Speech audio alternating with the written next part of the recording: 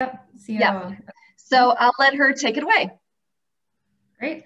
And really nice meeting you. And of course, it's, it's great to have a small group so we can all just have a discussion. Um, and Linda, what you just said is is probably what I need personally too, um, to get my finances in order. And it's embarrassing because I've been in finance 15 years, um, and probably more common. No, than, than no judgment. Right. Um, but yeah, so today I, I was gonna, uh, I'd love to just tell you about my background and then talk about um, really the topic is is values based investing or sustainable investing, whatever you want to call it. But I'm sure everyone's seen this become more and more mainstream over the past year, especially, and the demand for this type of investing, which you know is not really a side asset class, but really the future of investing. So it's so important, I think, to talk about and then tell you, um, you know, what what we're doing at where we're doing at Seeds. Um, so anyway, so I'll start with my story. Um, I was at uh, BlackRock and JP Morgan, so I was in what I call like big finance the last 15 years. And uh, my role is in product development. So what that means is I worked with the sales side and marketing to understand what type of products clients wanted, and then worked with the investment teams um, on what we could deliver and what we could create, and then actually working with you know legal operations, everybody else to to put together design investment funds, so mutual funds, um, and launch them to market. And um, I love that because I really got a good understanding of, of wealth management. And I think it was about seven years ago, I was at BlackRock and I, I, I learned about something called impact investing. And I was like, wow, this is so cool. This makes money meaningful. You can actually, you know, re, readjust kind of who you're investing in, how you're investing, and be also investing for for a better world, world or in companies that are doing better. And I was like, wow, this is great. I started being really excited talking about it almost like a side hobby. And at the time, I got a lot of pushback about it.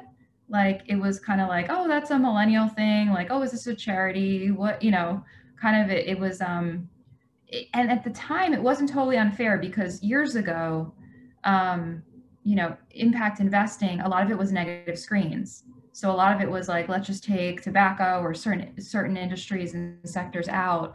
And of course, if you do that when you're investing, you're probably going to un- underperform because you're not going to have a diversified portfolio. But luckily, over time, what I've seen, and eventually it became a thing at BlackRock. I launched a few funds there.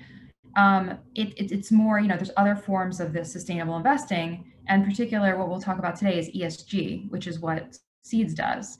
Um, and so uh, yeah, so luckily, like over time, it became a thing. I left and went to JP Morgan, the private bank, not related to impact, but basically building a whole new asset management platform within the private bank, which was really cool. But um, as I saw like more and more sustainable investing was becoming a thing in the industry, I wanted to be part of that and directly building that because that's what I like to do: build products and platforms. And um, so I left a year ago to be part of creating Seeds, which is a fintech startup and what we do is we, it's a technology platform for financial advisors where they can sit down with a client and have that conversation about what the client's values are and then present a full portfolio. So um, I met, it was basically a networking event. I met uh, the founder and CEO of Seeds, who, who I created it with, um, Zach Conway, and he was a financial advisor, is a financial advisor by background. So what he saw is a lot of advisors don't know how to have the conversation. Um, if, if, a client is asking for this, they also don't know how to put the portfolio together. It's very confusing. There's so many products, there's so many ETFs now. Every fund is now called ESG something or other. And so what Seeds is solving is that is like enabling the advisor, making them like the expert in this. So they, they're basically sitting down, walking through a survey with their client, really simple survey, and then being able to present, hey, I know you, and here, here you go. And I love what you said, Linda, about the psychology, because that's another thing that we incorporated in, in that survey process and platform is the first, there are a few questions about how does the investor think? So like, do they think more analytically or they think big picture? Do they want to know like the data around it? Do they want to know, do they want to hear a story about a company that's doing good in the world? Um, and so at the end of the survey process on the screen, it's here's who you are as an investor. So almost like a personality profile. And then it's, and this is what you said is important to you in earth, people, and corporate integrity. And then here is a proposed investment portfolio. So Seeds is also the sub-advisor. And then recently we just announced our partnership with Alliance Bernstein, which I think gives us more credibility partnering with more asset managers and their capabilities to present a full portfolio. Um, so, um, and I love like when I met Barb and, and the team here, um, I just love what Purse Strings does too, because I've also been involved with with microfinance, um, and I'm on the a nonprofit board. And so anything that helps empower women and brings women together and lifts them up is um, I'm passionate about. And so I'm, I'm, like my life is now aligned with kind of what I believe in, which is awesome. Um, so I had I don't know how much um, everyone knows about ESG or not, but I'd love to just give like a little bit of, of show some stories and just go into kind of what it is and demand. I have a few slides I'm going to bring up. I present. All right, I know we're um, we don't have so much time today, but anyway, so so I mean the time is now, right, for the sustainable investing. You may have seen the flows, which doubled over last year for retail funds in the U.S. Um, into ESG products and this is um, I think 25% of total net flows. So it's really become a thing. And why is that? I think it's because, you know, in the pandemic over the last year, we're all home and we're watching how are companies treating their employees? What's happening? Like all these climate crises, people are, you know, marching about social injustices. And so we're all thinking like, well, what are we doing in the world? And realizing that our money can have an impact dependent like how we spend our money actually matters, how we invest our money matters.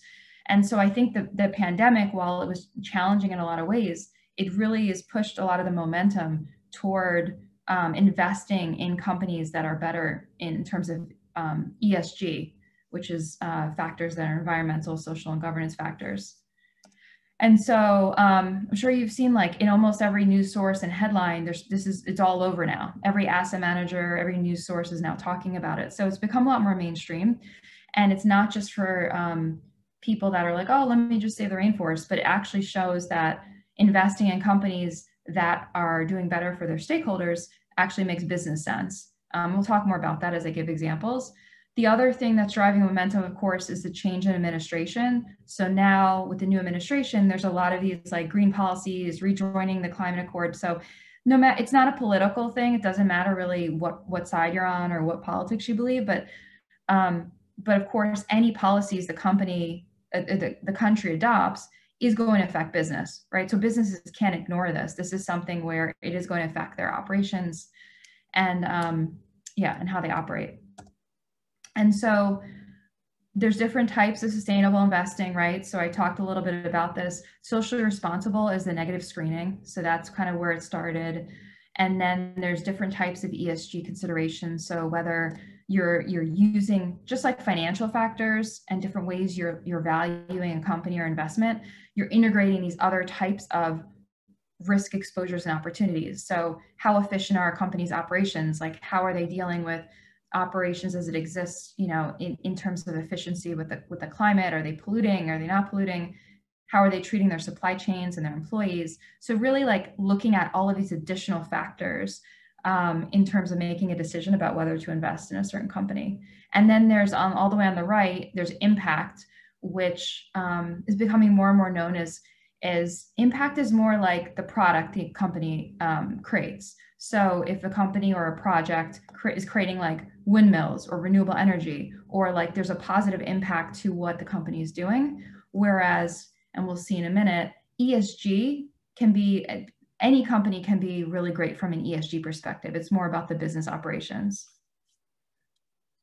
Does anyone have any questions up front before I, I want to go into just a few um, companies just to give an example? Hi, okay, so here's a real basic one. I may have missed this. What does ESG actually stand for? That's a great question. No one knows, and it's not that important, but but no, it's um, environmental, uh, social, and governance. Okay but but to that point i mean a lot of people don't know what esg stands for and i i feel like it, it's it's a confusing acronym and it doesn't quite matter like i don't know if there's a better way to call it but it's more about the meaning of it right like what how, yeah. eventually i think the esg is not going to be a thing which is why you know at seeds it's more for us about um personalizing the advisor to client experience, about aligning with values and personalization rather than like selling an ESG portfolio, right? It's not like selling real estate or selling this other asset class. So it's more about integrating this in how we think and also how we invest. Hey, Kristen, um, I had a question. So, yeah. um, like anything, when things get popular, like it's a popular thing that's happening and people are requesting socially responsible, um, there's been some negative stuff in the news about, you know, people thinking that they're um, investing in a socially responsible, but they're really not, or their their advisors advising them of that. And so, the, the transparency and the due diligence and all. Do you guys do that so that like me as an advisor if i'm making this recommendation or is that on me to make sure that everything is transparent? Yeah it's, it's a great question. We, at, at seeds we do that. We help the advisors through the whole journey and then afterward meaning when you're when an advisor is working with their client let's say they, they've done the proposal they open up a portfolio for their client in this way seeds then provides ongoing information and materials to the advisor to like pass on to the client. And so both the client and the advisor can have this kind of like they you both can have a dashboard experience and, and inter- interact in that way if you like or not. But um but that's why it's important we think to have um, some type of support or platform with seeds because advisors have so much going on and so many other things to think about and worry about. They're not going to just be like in the news like searching about esg and all of that. Like so having this to actually like help them with their conversations with clients. So I think that's important. But um, but you're right, there is a lot of news either way. And I think more and more, um, what's changed over the past couple of years too is the investment thesis. So a lot of the large um, investment managers and banks and asset managers are now agreeing that this is actually good for investing. That the biggest thing is the performance, right? So like, you, you, what's the give up? It's like, what's the give up about this? But it seems it's I don't know all of yeah all of there's still critics about it, but I think more and more people are realizing like, like yeah, companies that are better to their employees might be a better long-term investment. Did that answer your question?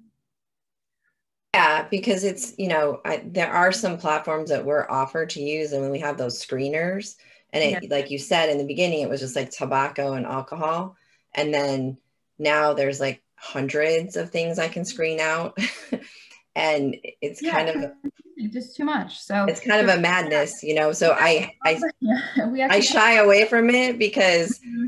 you know I'm not confident exactly in the process. Yeah. And that's totally common. That's what we hear all the time from advisors. Which and it, it makes sense. It's like even as an investor, let's say I'm the end investor, I don't know what hundred check boxes like I, I want or I didn't want. Like I haven't thought about all of the issues that I care about. So at, at Seeds, we bring it up a level. There's like nine different, um, in areas of, of environment and social and governance, there's nine different kind of high level themes that a client will rank. And we think that's totally different than some of these other providers, to your point, that you go through this checklist with a client of like 100 check boxes and it's confusing for the advisors, confusing for the client, and you're like down some rabbit hole and then it becomes political. Anyway, so yeah, it's important um, that's what we're trying to make it like it, important for people to be able to invest in this way um, but not have it like so overwhelming. Um, certain like very few clients are going to really feel like strongly about checking or not checking 100 boxes. So so yes great. Um, so anyway so these are just a few case studies to bring it to life so home depot um, you know this is a company that kind of everyone knows right if you're conservative or you're liberal like it could be a fine investment like and just an example of something that's good ESG. I mean, in the pandemic, they were increasing pay to employees, right? Which was a, a short-term financial hit on the company. But you know, we think that the thesis is it's going to pay long-term dividends when there's less lawsuits of employees, there's more happy employees, there's less, and that can really um, build a better company, right? And so the thesis is in the long run, the company is going to be a better investment and have better value if they have a better culture and workforce. They're also doing other things like becoming more energy efficient, et cetera. So this is just a good example that's like, oh, it's a mainstream company. When you say ESG, does that mean I'm investing in like wind farms in Iceland? Like, what is it? But this is like a very common mainstream company. Um, another example of, you know, not so good ESG. Everyone remembers this, the BP oil spill. I don't know, was it 10 years ago? Um, but you know, it would be great to know as an investor, right, that this company had uh, their safety protocols for their employees were not great, and for how you know they were basically not maintaining their oil rigs. So that that would be great, and it's and it became incredibly financially material to the company when they they're paying. Obviously, it was a huge disaster in human life, but also in like financially. So this is you know obviously an example of like the operations and how a company is operating affects you know their stakeholders and their shareholders their financial position um, I like to put this one in because people think like ESG is just screening out like like alcohol and other things. And again, like that's um, that could be maybe when you're thinking impact investment, but for ESG, any company like Heineken's actually uh, really great from an ESG perspective. They align with the UN Sustainable Development Goals, so SDGs. If you guys heard of that, it's um, we don't have time to go through the whole thing now, but a lot of uh, companies and investment managers are now trying to align their investments to the SDGs, which are you know ways to I guess change the world, help the world that that um, many countries agreed on a few years ago. Um, but yeah, like a company like this can do a lot, right? Because they're using a lot of water resources and plants and operations. So if they change how they're actually operating, it can make a big difference in terms of their communities and their stakeholders in the world. So um, another example of good ESG. And then this is the punchline. So a lot of, you know, as financial professionals, a lot of your clients may be invested, you know, may feel strongly about certain values and interests. And they may be invested in an ETF that actually holds things like private prisons, right? So main mainstream ETFs that are probably in all of our portfolios have things like this in it. And it's kind of antithetical to a lot of things that um, your clients or people believe. So um, so that's the big thing. Like what we're doing, what we're doing at Seeds um, is trying to to work with advisors that work with their clients. A lot of clients are investing in these public projects, like oh, we're doing that. We're on the cap table of this awesome, um, you know, new way of like doing renewable energy, whatever it is. And then you look at their main portfolio and they're invested in like a main ETF that that is totally um, opposite of what they believe in. And so um, what we're doing at Seeds, like I said, is a, is a financial platform that advisors use to talk about personal values and financial goals and then bring them together in a proposal. And um, it's not the only way you can do this, of course. Um, there's ETFs, there's mutual funds, kind of on one side of the spectrum that are, um, it, it's, I think it's great that there's so many offerings now. Again, it's confusing, but it's great that everyone is, is trying to offer something. And then there's those a lot of robo advisors that are doing more direct indexing kind of on this angle. Direct indexing is like reweighting an index and taking things out. Um, and that is very customized, but again, you're kind of still including things potentially that the client doesn't want. What we're doing as seeds is like building portfolios from the ground up. So once we know, once an advisor knows what a client believes in, in those nine areas, then building a portfolio of actual companies. So like 60 stocks that align with that, that's also a good diversified portfolio on the equity side. And then on the fixed income side, there's um, there we're building a portfolio of funds and we and um, partnering with others like Alliance Bernstein to offer tax exempt. Um, so anyway, this is just a, a, snapshot of kind of the platform I just talked about and the process that an advisor would go through working with seeds. Um, but yeah, so that's that's what I wanted to cover. So we covered what was ESG, why it's so important, and then how you can do that. Does anyone have any questions? Uh, Kristen, um, so for an advisor to get access to this, is it is it through you guys partner with it? You partner with Alliance Bernstein, or is this available to individual advisors? Just does it have to go through who they're affiliated with, or? Yeah, so we partner with large advisory platforms. So our first client is a $5 billion RA located in New Jersey. And all, you know, 50 plus advisor teams have access to this, to seeds, just like they would have access to Salesforce or Morningstar or kind of another tool. And so we are looking for other advisors and mainly advisory firms, right? So we're trying to like partner with the advisory firm to offer um, this as a personalization tool. And so we're both this kind of tool for advisors. And then if clients want to open an account, we're then also the sub advisor. So we'll manage the actual equity and taxable fixed income portfolios as as any sub advisor as any sub advisor you'd work with, and then um and then Alliance Bernstein is on for the tax. So exam. it's considered it's considered like a TAMP, right? And then you guys, or is it not? And then you, and it's branded per that larger RIA. Well, yeah, it's always through the RIA. So mm-hmm. I'm not sure if we call ourselves a TAMP or not. I know there's. I would think it sounds much. Hi, Gigi here. Sorry for being late, everybody. Um, it sounds to me more like it's a, and I'll use another acronym which I hate. SMA, a separately managed account, right? That's what it kind of just.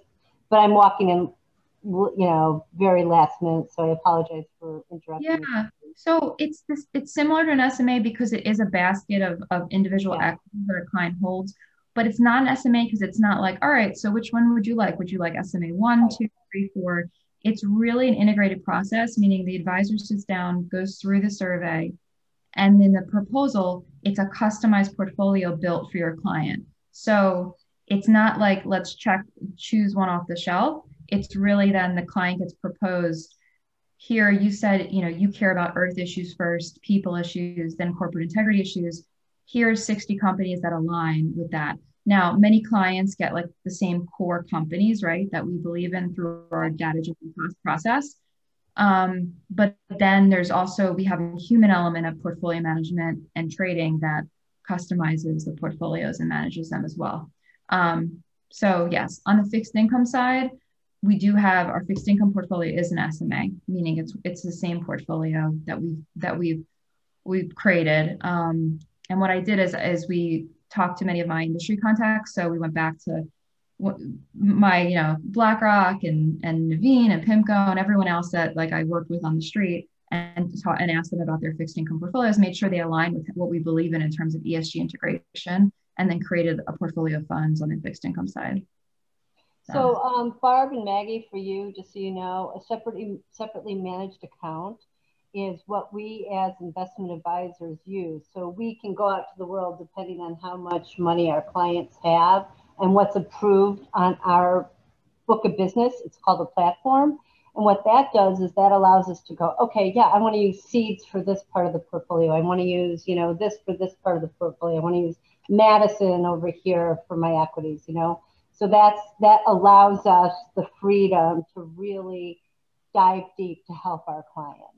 So yeah. I, I know you two are super experts in that. So I just wanted to let you know what that was. Yeah, I appreciate that. Um, and Kristen, when you talked about the um, survey or whatever it is, assessment, is that um, each client takes that assessment um, and the assessment is provided by the um, by your financial representative? They give you that assessment and that's how they select the seeds for you? That, that's correct. Yeah, so it's mm-hmm. it's basically like a Zoom like this, or I guess in person one day. You would bring up the Seeds dashboard on the screen and walk through a survey. The, the advisor would walk through a survey with your client, and it would facilitate this conversation about what's meaningful to your client. And so it's it's really quick. It's only 13 questions, and at the end of that, the advisor then can present a proposal that says, "Here's your customized. Here's what I heard. First, here's what kind of investor you are, how you think." How you make decisions with your heart and your mind, so your your investor profile. Then it's you've said these issues are important to you from an ESG perspective, and then here's a portfolio for you, like a proposal for you. And yeah, a, yeah. the advisor then can decide what, you know, with the client, what makes sense. And so Seeds is not taking over, you know, like your, the advisor's performance system or the overall portfolio. Like if an advisor wants to do this for a piece of the portfolio, it's fine.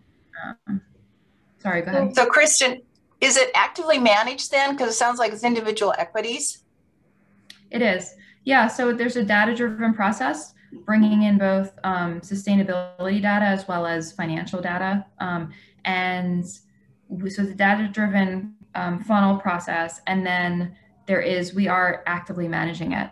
So um, there's not an incredible amount of turnover, but we are, you know, we have investment professionals and a committee that does look at the individual names um, daily, and we have weekly investment committees. So yes. So there's, I was just going to say that I know we're kind of short on time, but um, if you look at the fintech companies that are coming out, um, there's one that comes to mind is Positivity. um, they're all trying to incorporate the psychology of how to figure out really what drives your client to motivate them to to stick with the plan and and associate it with their core values. It's it's it's really powerful. I see in the industry that movement right now because um, before it was just oh what's your risk? You know the question would say you know what's the worst investment you made and what's the best investment and what did you do oh. when the market dropped and what did you do when the mm-hmm. market was up and you know so i mean yes that tells me i mean it tells me a little bit about what the client's behavior is but when you get to that behavioral finance side all that can just be thrown out because mm-hmm. when they're actually put into that into that pressure cooker which we've seen this in all these vol you know different markets not normal markets they they will act totally differently and you will have to manage through that. So i'm actually super excited about these types of fintech companies are coming out because the psychology of money and how money habits and how people behaviorally uh you know act or want to act is like the key to success. Yeah. I mean, values are something that are ingrained in you. And if you start the, if you have the, if the advisor has that relationship based on, on how they know their client with their values, not about the risk tolerance, which could change every day, right? Like it's a lot stickier, it's a lot more meaningful. And if you understand your client, so the profiling part of the survey it talks about, that doesn't just help an advisor talk about ESG or position values align. That helps them talk about kind of anything they're talking about with their client if they understand where their client's coming from. So mm-hmm. totally, I think for an advisor really to differentiate themselves, having the understanding of the client, building the relationship in a different way, right? Because if you just want trading, you might as well go to a robo. But the mm-hmm. advisor partner in you know people want someone to be partner with them and help them with their life decisions so so enable like having that dialogue about values and what's important how you make decisions and then you know being able to align their investments in that way just like anything else is really um you know today and the future right of investment yeah. yeah. and i love i love it and you know gigi is full transparency, my uh, financial professional, and she knows my passion for this, and I think she shares it as well. So I'm glad, Gigi, you were able to jump in. Me too. Thanks. Um, uh, do we get to hang up? Pardon me? I have like two more quick questions. Go ahead. Go ahead. I mean, okay. I'm stay on if you can. Kristen. Okay. Yeah, great. Um, uh, real quick, um, Kristen Hafner, you've yes, got to yeah. look at behaviordna.com. Mm-hmm. They are the end all be all. They are the absolute best on the market. In fact, Fidelity is just, I think, going to be engaging them. You've got to look at them. If, y'all, if you want to talk separately with me about it, mm-hmm. yeah. Uh, I'm, you know, I'm about to put Barb and Michael through it. but well, I'm and I'm I appreciate you sharing. This is why the power of all of us, because women advi- uh, financial advisors love to collaborate um, mm-hmm. and share, even though we all, you know, ha- do the same thing. We don't do all the same thing, but we have different passions. Um, but I'm on the New Century Council for Cambridge Investment Research, and I'm supposed to be in charge of looking like five, seven years out. And I am constantly bringing this to their attention of incorporating this into, and and they're so far behind. And you know, I'm one of three women on this council, oh. and the three of us are just like and and I'm frustrated. So when you give me this, it's just like the most awesome thing to find out these things that are coming uh, out so that I can take, take a look at it. Uh, Gigi's uh, Gigi's mantra as well. It's my it's my language. Take a look at it and feel free to ping me separately and we can talk. Okay, um, awesome. Kristen O'Grady, um, and and you'll see when you look at behavioral DNA, Kristen Hafner. Mm-hmm. I'm a driver, right? But uh, Kristen O'Grady, um, can you talk a little bit about the cost structure? Because part of the challenge is, especially when we're looking at something like a seeds or something like that to put onto a 401k um, platform or to put into an individual um, client's platform, typically ESG or SEG, depending on which you're looking at, um, can be a little bit more expensive. Can you speak to that? Because we've got this layer and then we've got our investment advisory layer and, I, and yeah. still no matter how conscious people are and there are people who say i'm absolutely willing to pay a little more when they look at those fees they're like oh Yeah, no, it's a good question. And, and I don't think ESG has to be more expensive. Maybe some of the funds are, you're talking about more expensive yeah. than funds. Um, so, so seeds like a sub advisor it's just like a sub advisor. So you, advisors have sub advisory relationships. So um, the market for this is probably 60 basis points. We have a lower fee with our the oh. client we're launched with. So anywhere from 45 to 60 basis points. Now that would be similar, since it's an SMA, that would be similar to having a mutual fund. That okay, cost. Perfect. So same way, less trading, lower cost. The one percent fee, but this would be like an, a sub advisor. Um, there also would be a monthly charge to an advisor, just like for like the tool use, right? So like just like you're paying $100 a month for Morningstar or what, you know, whatever other tools you're using, um, there would be like a licensing fee for that. Um, so let, us say there are 80 advisors. So we're, we're a billion dollar RIA with folks and we're growing and we're around the country. So it would be, and I, and I don't mean to get this granular. I'm just curious. Is there's an annual, because I'm going straight to my SVP on this. So, so uh, maybe you and I should talk separately. Yeah, let's talk. I mean, it's definitely negotiable. And for our first, you know, we're we're launching a five billion dollar RA right now, in and New Jersey. in New Jersey, yeah. And so their fifty plus advisor teams are using this, and for them, we, you know, we of course, since they're the first client, there's a deal. So it's all negotiable. But yeah, for the client, I don't think it has to be more expensive. I don't think the whole like you're paying more for ESG is necessarily a thing. I think because ESG um, is the future of investing. I was saying this in the beginning. Like it's not like this separate asset class. Like oh, I'm investing in real estate, so we're gonna you're gonna pay more. It's really how and BlackRock's saying this. Everyone's saying this. It's really how we're going to invest in the future. It's not a thing. So if the prices, if the fees of the funds are not the same now, they will be. Right, right. There'll be some equalization. And the confusing part is, you know, every single prospectus now, everyone's putting ESG in their prospectus. Yeah. So the reason, um, and someone asked about the active management, the reason I think active management, some active management makes sense right now is because there's no consistency in the mm-hmm. data that companies are reporting. And then there's so many now ESG data providers, which are awesome, but nothing's consistent. So I think it makes sense to not just go by the rating, but have an investment professional then look at the companies um, and decide. Because like any asset class where there's just a lot of what is it called? There's just a lot of different opportunities. well, that yeah, like, that's what concerns me is when they give you these yeah. screeners and they tell you they have a proper ESG, you know, offering to you. It's it's really not. so, um, yeah. and and I agree with Gigi's point about the fee structure because that's a whole nother conversation. We can do a whole other conversation on that. Um, but um, it's just you know the clients don't understand it. So, um, it, you know, and then the other thing is when you get to these larger RIAs or even a broker dealer like Cambridge, you know, them seeing the value to the street sometimes doesn't cross over. And then they try to do it themselves and then they step in a lot of holes and they can't launch it and they spend a ton of money. so, yeah.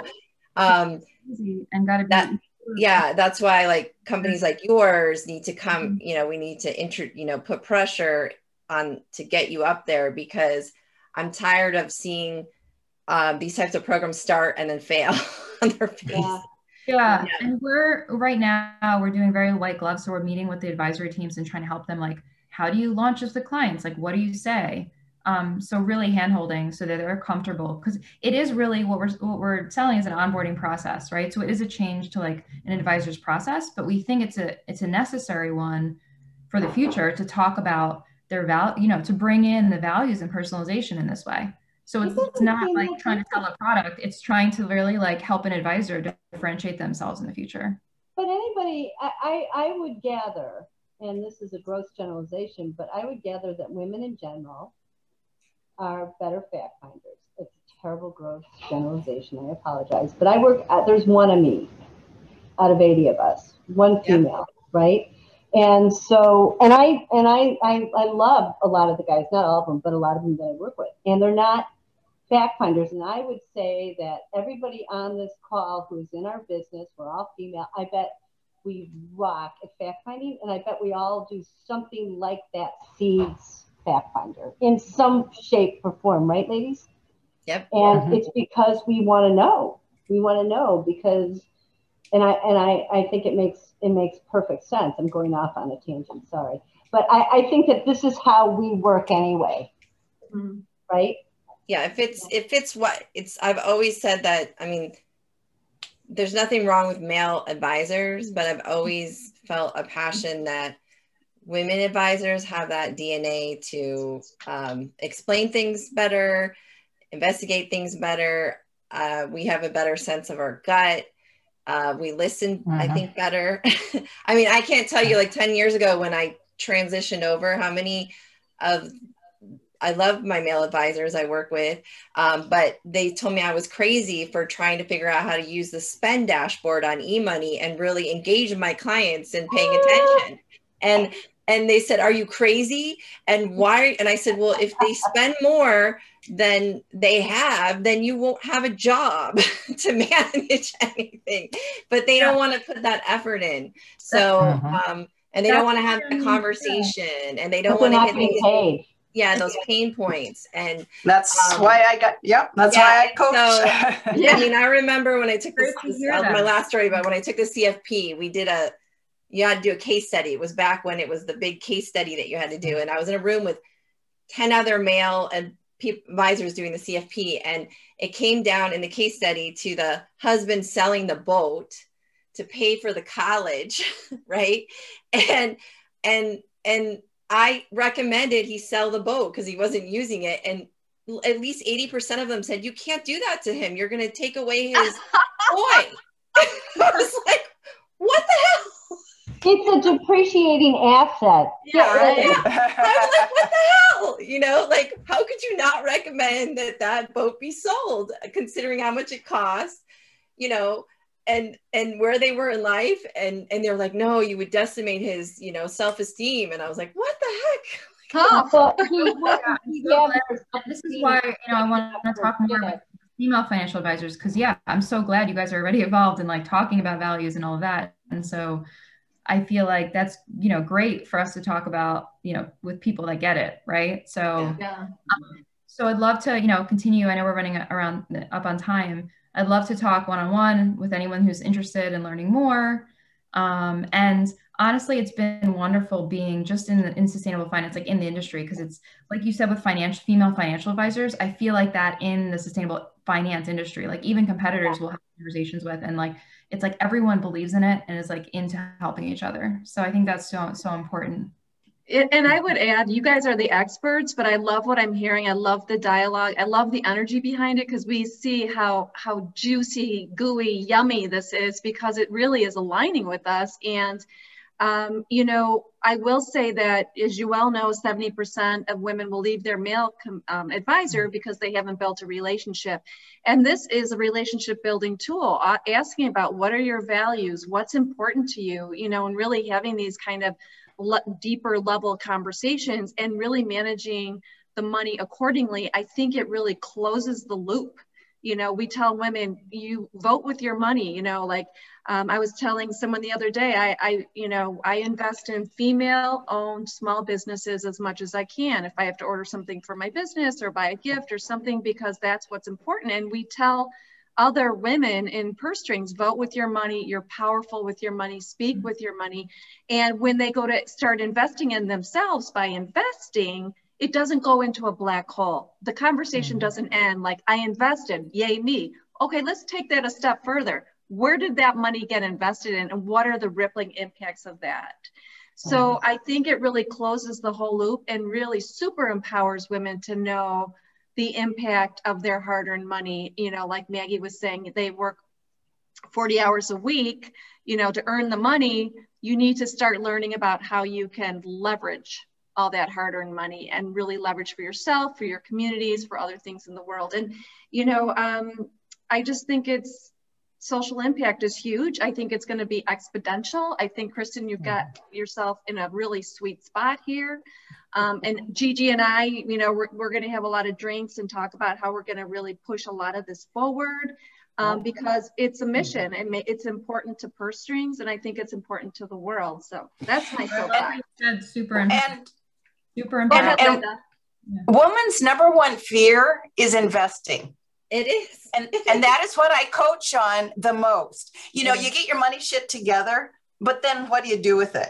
Yeah. And it's it's getting them into invest it's getting them over the fear. And that's so, why the psychology I, of money is yeah. so important and understanding that you align that your investment are aligned with your goals. Oh my God, I could go on, but this is no, I, I know. I get excited when they over again. They, I get excited when they t- they call me and they say, "Oh, I checked out this position, a stock, and what do you think?" Or like they're mm-hmm. actually like researching it online and with their morning coffee. I like get super excited because these are things that they just never wanted to do before, and and they actually enjoy it. And when they mm-hmm. find out you know what it's they not scary. It's taking the step right yeah. it's taking the first step yeah. and education is the first step yeah. yeah. Anyways, I have to run, ladies. I'm sorry, but this has been amazing. This has so, been awesome. Yeah. Hey, Kristen, ping me, uh-huh. find me. I'm on pursestrings.com. Yeah, I will. I will. I just that's yeah. I, that's, okay. that's I just figured out how to use all of that. So yes, so okay. I will. All right. All right. Take care, ladies. Bye. Bye. Bye. Bye, Kristen. Bye. Um, yeah, if anyone wants to reach out to continue the discussion, I'd love to. Um, yeah. investor.com.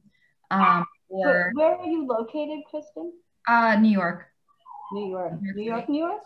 Uh-huh. Yep, in the city. I love New. I might have to just come visit Steve. Or um, please LinkedIn. It'll be an in-person meeting. you want to do an in-person meeting, I'm happy to, to host oh, in yeah. Manhattan. Um, what are you on LinkedIn, Kristen? Yeah, so please find me, Kristen O'Grady, um, and okay. LinkedIn, and or um, www.seedsinvestor.com. Um, and, and Kristen, you can get on pursestrings.co and reach out to all of these lovely women as well that way. Um, so you know where they all are. Yeah. yeah. And thank yeah, you. Would so you would you find me? Because I'm gonna I awesome network. I just change I have to jump on another call. Okay, I yeah. I wanted to jump on this call and say hello. This was really, really important to me. So I I hope everybody has a wonderful weekend. Again, I apologize for being late and leaving early. Um, that's all right. Okay. Talk to you later. How'd you do that? Yeah, this was great. This conversation, I think we could have talked for a few more hours, um, just mm -hmm. listening and hearing. And I think there's a lot of energy behind this. So um, I welcome all of you that came today. Kristen, thank you so much for all that you do and for presenting today. And let's keep the conversation going um, and see how we can push this important mission forward. I'd love to. Absolutely. Yeah. Definitely. Talk to everyone soon. Thank you. Nice to meet you, Kristen, and you too, Kathy. Oh, yeah, right. you too. Yeah. Mm-hmm. Have Bye -bye. a great weekend, everyone. Bye. Bye. Bye. Bye.